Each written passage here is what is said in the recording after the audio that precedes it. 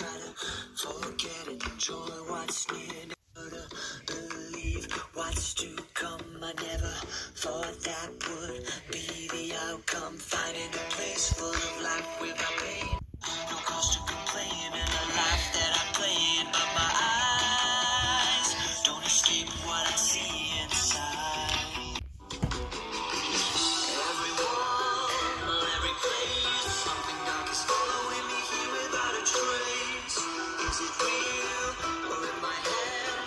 myself.